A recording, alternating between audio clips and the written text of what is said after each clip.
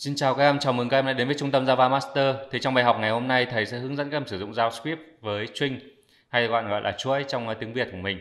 Thì ờ, chuỗi trong JavaScript chúng ta sẽ làm việc với những cái hàm như là tính số lượng các phần tử trong chuỗi hay là cắt chuỗi hay là tìm kiếm thay thế một chuỗi trong string đó. Thì để cụ thể cách sử dụng như thế nào thì cùng thầy đi vào trong ờ, code. Thì trong bài học này thầy sẽ tạo một cái file HTML mới đặt tên là string.html và tương tự như vậy thầy copy cái array này qua. Và thầy đổi tên thành string đúng không? String thì dịch ra tiếng Việt là chuỗi. Thì ở đây để khai báo một string trong ờ, JavaScript thì chúng ta dùng var s chẳng hạn. Hello JavaScript is easy. Đấy. Giả dụ chúng ta có một ờ, uh, string như này và chúng ta có thể console log cái string này ra. Màn hình console Đấy, thì các em có thể open cái file HTML này với trình duyệt Chrome để chúng ta à, có thể xem. Thì đây thầy sẽ F12 lên.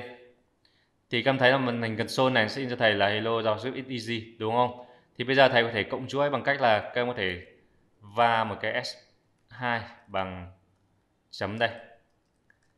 JavaScript is, is is và chúng ta có thể là cộng hai string với nhau bằng cách là va s3 bằng s cộng với s2 như này. Đấy các em dùng dấu cộng để các em cộng chuỗi với nhau. Hoặc là các em có thể dùng s.concat dùng hàm concat để các em cộng chuỗi. Đều được. Đấy.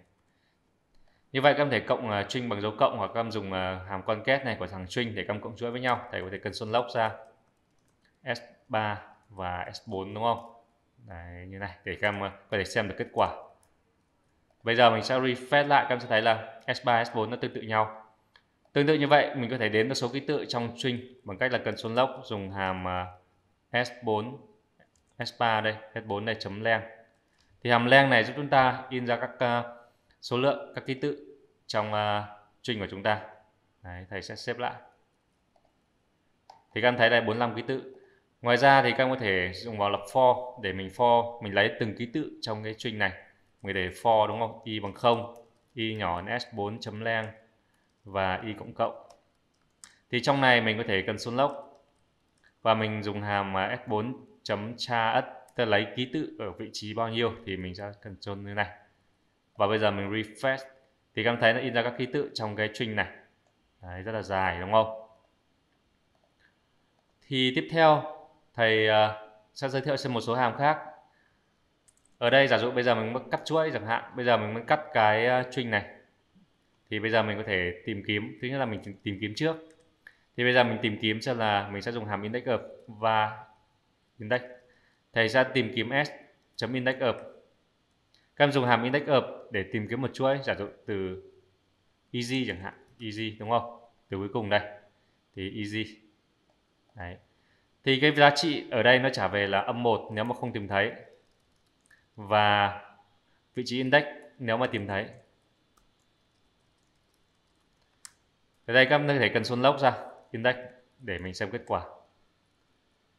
Thì ở đây thầy sẽ comment bớt cái dòng bên trên lại, cho nó ngắn lại, bởi vì màn console nó hơi dài, đúng không? Thầy sẽ comment bên trên. Ở đây các thấy là nó sẽ tìm thấy vị trí index là 24 ở đây nếu mình sẽ thay một cái giá trị khác, giả dụ như là easy chẳng hạn, cái chữ hoa như này. Thì các thấy đây, giá trị trả về là âm 1 đúng không?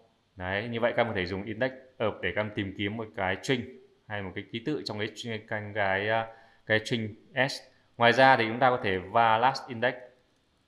Thì các em có thể dùng hàm last index tức là tìm từ cuối lên đầu. Index up và tìm từ đầu đến cuối thì nó tìm từ chuỗi đầu tiên thì nó sẽ in ra cái vị trí index. Tìm từ cuối lên đầu thầy có thể tìm chữ o chẳng hạn hay là chữ s đúng không? Đấy. Tương tự như bên trên hàm lat index up này, nó cũng trả về âm 1 nếu mà không tìm thấy. Lat index. Và đây, các em thấy. Vị trí tìm thấy là 26 nó tương tự như hàm index bên, ở bên trên. Hàm lat index up là tìm từ cuối lên đầu và index up thì tìm từ đầu đến cuối. Tương tự như vậy thì các em có thể cắt chuỗi. Giả dụ bây giờ thầy muốn cắt chuỗi, thầy có thể dùng hàm như sau. Một hàm sub string. Một, đúng không? Thầy có thể dùng là s substring thì sắp substring thì các em sẽ truyền vào đây, các em nhìn vào đây, các em sẽ thấy là mình sẽ truyền vào vị trí bắt đầu. Và giả dụ thầy bắt đầu cắt chuỗi từ vị trí 1 chẳng hạn, và thầy muốn cắt 10 10 phần 10 phần tử 10 à, độ dài là 10 tức là nó tính ở đây đến 10 thì thầy sẽ in ra cái chuỗi này. Các em nhớ là substring thì chúng ta cắt từ vị trí index đầu tiên, và số lượng là pin thứ hai là số lượng các phần tử bắt đầu từ vị trí đấy. Thì thầy sẽ refresh, các em thấy đây, cắt chuỗi mình 10 ký tự tương tự như vậy các em có thể cắt chuỗi bằng hàm uh, substring. Các em nên nhớ đây là có ở đây có một hàm substring. Substring thì đây nó sẽ thêm chữ string đằng sau. Thì ở đây nó sẽ khác hàm bên trên ở chỗ là vị trí bắt đầu và vị trí index kết thúc. Đây là hai vị trí bắt đầu và kết thúc của index.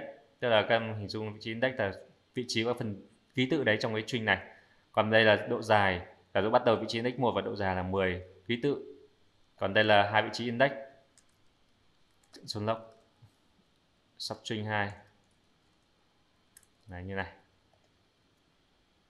Được chưa? Tương tự như vậy, cái hàm này nó cũng tương tự như hàm spline thì các em có thể dùng hàm tương tự hàm slide. Hàm slide này nó cũng giống như hàm cắt chuỗi thôi. Thì các em có thể dùng hàm như thế. Thì đấy là về cái ờ, cắt chuỗi trong ờ, string. Ngoài ra thì trong này mình có thể chia, dùng hàm split convert string thành mảng thì các ông có thể va một cái array, str, đúng không? Thì các ông có thể s.split ở đây thì mình có thể cắt ờ, khoảng trắng. Giả dụ mình, hoặc là mình cắt dấu chấm này, mình sẽ chia cái string này thành hai cái phần tử, tức là hai chuỗi. Thì mình sẽ có thể dùng dấu chấm này đấy. Thì ở đây mình có thể for y bằng 0 y nhỏ array chấm len. Y cũng cộng và đây, thầy có thể console log ra.